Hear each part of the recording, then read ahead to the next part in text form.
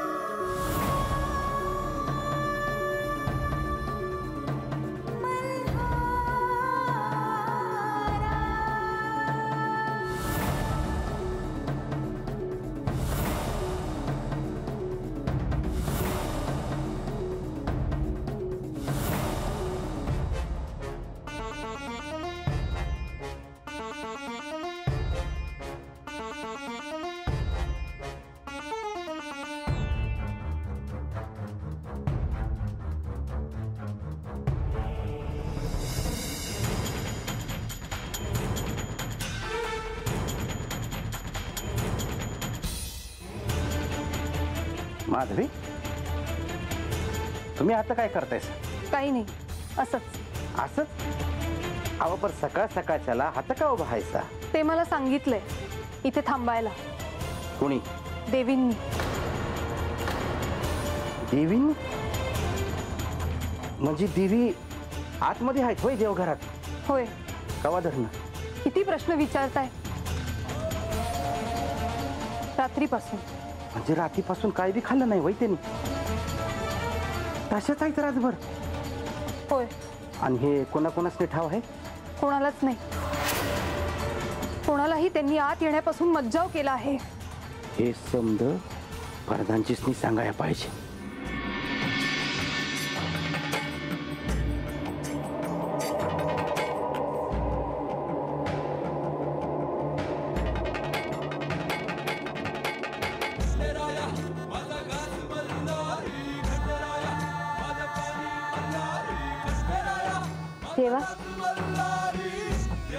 का कुणास ठाव पर हाता आल्या धरणं मन लय शांत झालं हाय बघ. बानू हे स्वाभाविकच आहे. कारण इथलं वातावरणच तसं आहे.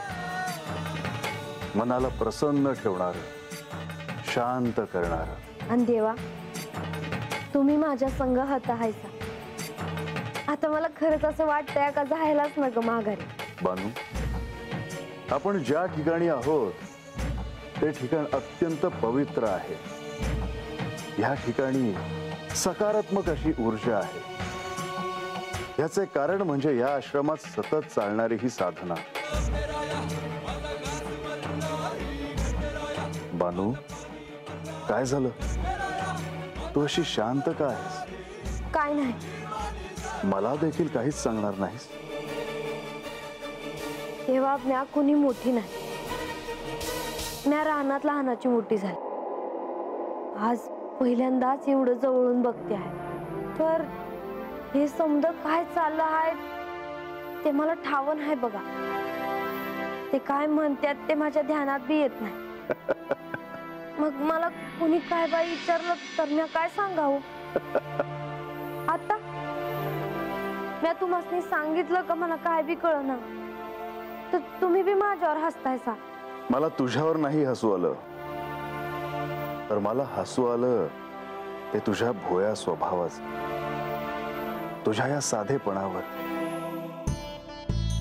आपल्याला काही ठाऊक नाही. हे किती सहजपणे मान्य करतेस पर आता जे हाय ते हाय पर खरं देवा. काय शिकवत्यात होत? ह्या निसर्गाच्या अद्भुत रम्य वातावरणात ह्या आश्रमात मानवाच्या जगण्याचा त्याच्या संस्करणाच्या ज्ञानाचे महत्त्व सांगितले जाते. आणि केवळ इतकेच नव्हे तर चार वेदांचे महत्त्व धर्माच्या पुनरुत्थानाचे महत्त्व त्याच्या आचरणाचे महत्त्व आणि असे बरेच काही शिकवण्याचे महत्त्वाचे कार्य भृगु ऋषींच्या आश्रमात घडते. हो म्हणजे लय मोठं काम करते की हे महाराज. हे ऋषीवर म्हणजे कोणी सामान्य ऋषी नव्हे. ह्या सृष्टीत जसं सप्त ऋषींना मान आहे तसंच भृगु ऋषींचा देखील. ह्या सृष्टीच्या नीती नियमांचे धर्माचे महत्त्व निश्चित करून हे सर्वदूर पोहोचवण्याचे अनन्य साधारण असे कार्य भृगु ऋषींच्या आश्रमात घडते. पर तेव्हा मी त्यासनी विचारलं तर ते मला सांगत्याल भय निश्चितच मानू पण हे समजून घेणे तितके सोपे नाही. हे देखील मी तुला सांगू इच्छितो. ही एक साधना आहे. तत्व जाणून घेण्याची साधना. ज्ञान मिळवण्याची साधना. आचरण संस्करण मिळवण्याची साधना. धर्म अर्थात ज्ञान पसरवण्यासाठी बळ मिळवण्याची साधना. हे कार्य तेवढे सोपे नाही. पर देवा तुम्ही मला सांगितलं आणि त्यांनी बी मला सांगितलं तर मला कळेल ना हो? निश्चितच. पण माहीत होणे आणि ज्ञान मिळवणे ह्यात फार अंतर आहे. आणि ह्यात जे काही महत्त्वाचे आहे ती म्हणजे साधना.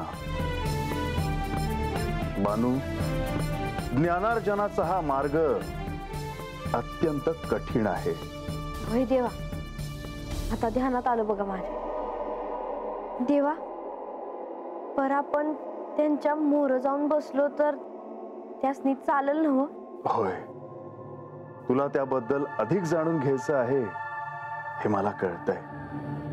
शिव शिव शिव मल्हार सदा ओ नमस्ते रुद्रमन्य उदोदगवे नमः बाहुभ्यामुदरे नमः स्वाहा।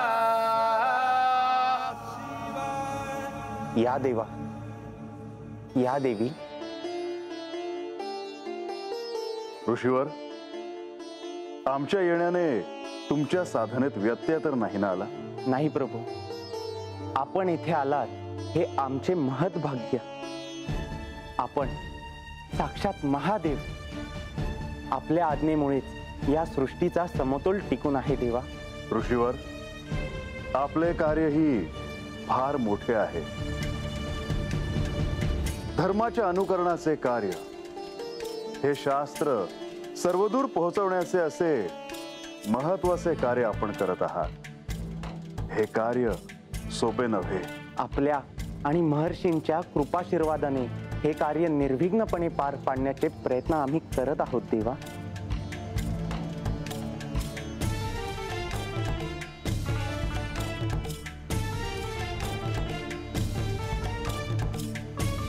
ऋषीवर आपणही स्थानापन्न व्हावे.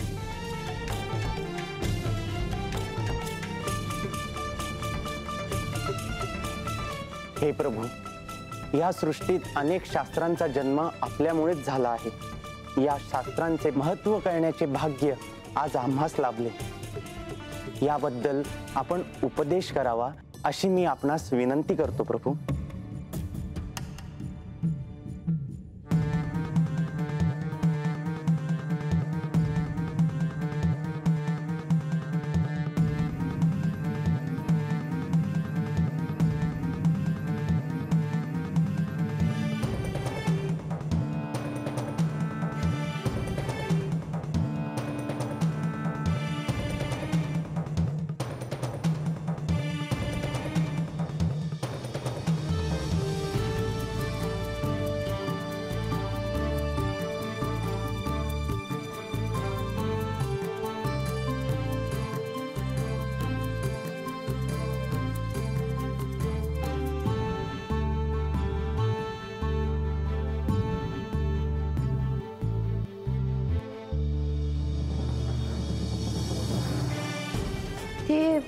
तिथं काय चाललं आहे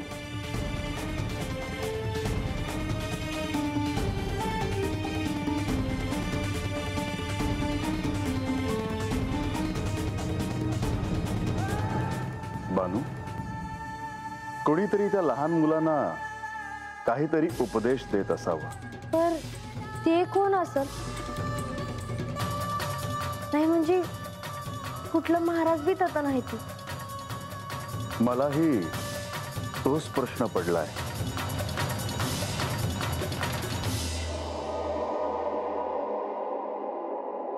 मग आपण तर जावं का? मला देखील तसंच वाटतंय. चल.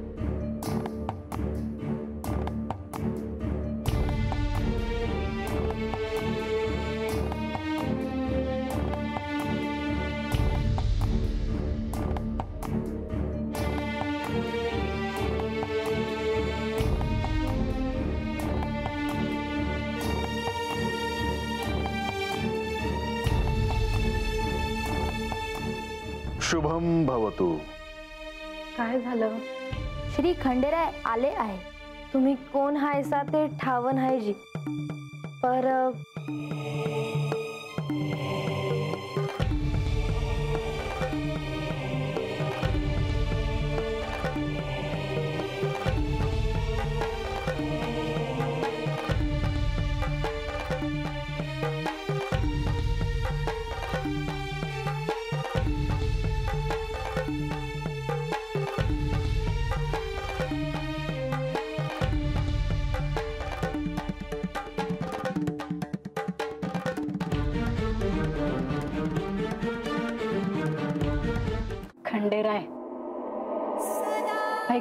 मी तुमच्याबद्दल. पण मला तुमच्याबद्दल ऐकल्याचे ध्यानात नाही.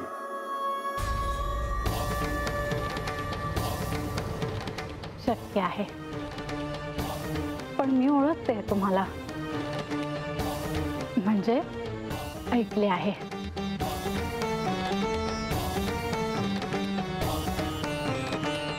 पण तुम्ही कोण हे मात्र मला नाही सांगितलं.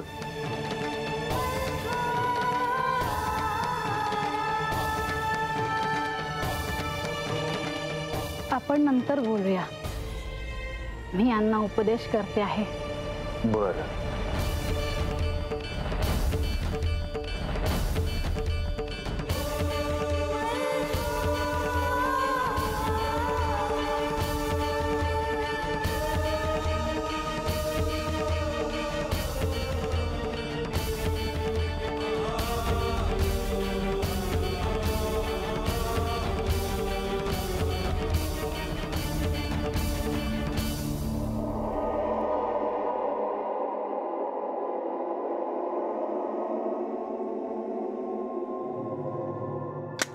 नारायण नारायण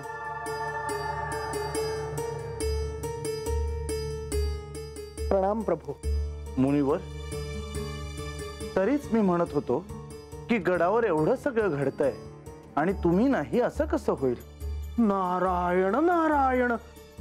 प्रभू यावेळी मी काहीही केलेले नाही.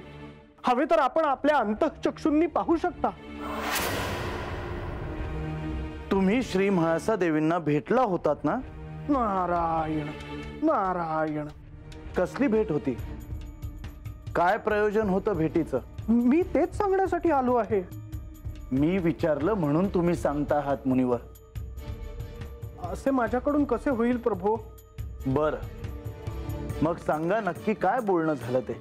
मी आपल्याला सांगेन परंतु आमच्यात जे बोलणे झाले त्यातला एक भाग मी आपल्याला सांगू नाही शकत. मला वाटलंच तुम्ही काही गोंधळ घालणार नाही असं कसं होईल? प्रभू हे सगळे कोणत्या दिशेने घडत आहे हे मी पाहिले आणि ओळखले की हीच ती योग्य वेळ आहे श्री म्हाळसा देवींची क्षमा मागण्याची. वा काय धाडस केलं आहे तुम्ही मुनीवर? हो. नाहीतर उद्या काहीतरी भयंकर घडले तर सुरुवात या नारदानेच केली असे कोणी म्हणायला नको. म्हणजे श्री म्हाळसा देवींनी तुम्हाला क्षमा केली? हो. मी त्यांना सांगितले की देव बानूकडे राहावेत हे मी सुचवले. परंतु ते तसेच घडेल आणि त्याची परिणती ही अशी होईल हे मला ठाऊक नव्हते. तर त्यांनी मला क्षमा केली. शक्य नाही. मी आपल्याशी असत्य कसे बोलेन प्रभू? देवींनी तुम्हाला असंच जाऊ दिलं? नाही म्हणजे त्यांनी माझ्यावर एक कार्य सोपवले आहे. परंतु ते कार्य मी आपल्याला सांगू शकत नाही. का? कारण मी तसे वचन दिले आहे. मुनिवर तुम्ही तुम्हाला हवं ते कार्य करा. परंतु त्यामुळे काहीही गोंधळ होणार नाही ह्याची काळजी घ्या. मी असे काहीही करणार नाही. प्रधानजी अ, प्रधानजी अ, एक काम आहे. आणि तुम्ही त्याच्यामध्ये लक्ष घालायची वेळ आली आहे बघा. हवं हवं देवीने देवघरात स्वतःला कोंडून घेतलं या. माझा याच्याशी काहीही संबंध नाही मी काहीही केलेले नाही. चला मी येतो. चला. पाहूया काय करायचं ते.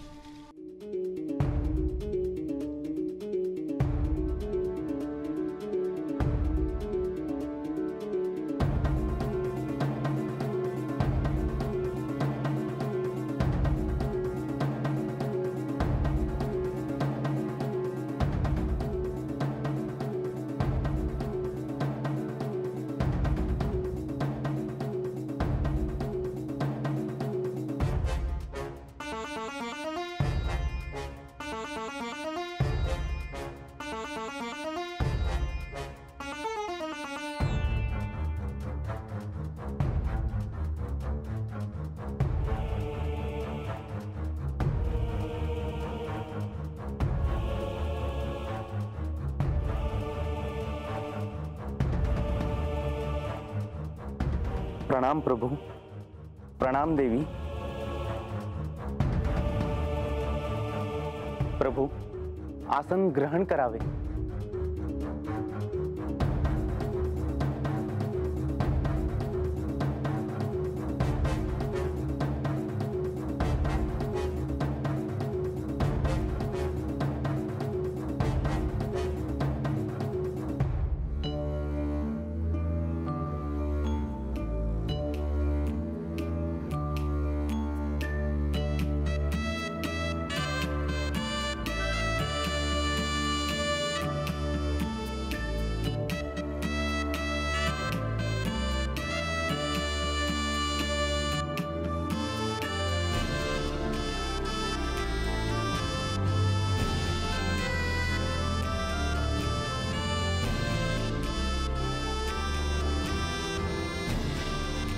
हे प्रभू आपण भोजनास प्रारंभ करावा अशी मी आपणास विनंती करतो.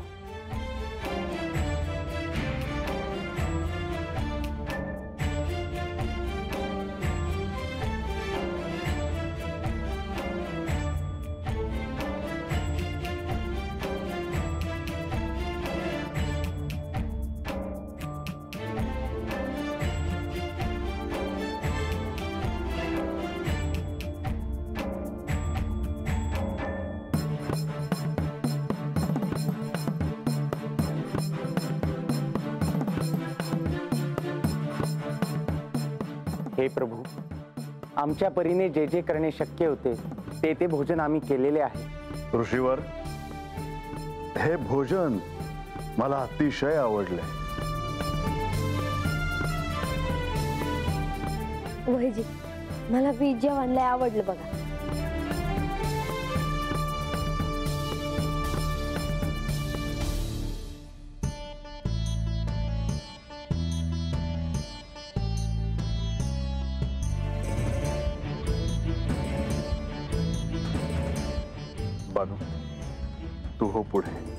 आलोच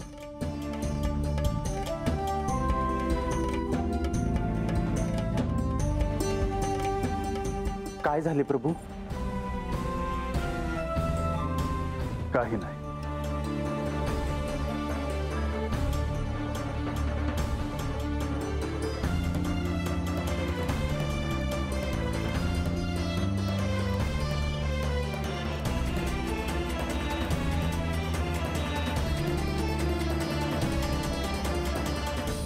तुम्ही कोण आहात हे अजून तुम्ही मला नाही सांगितलं.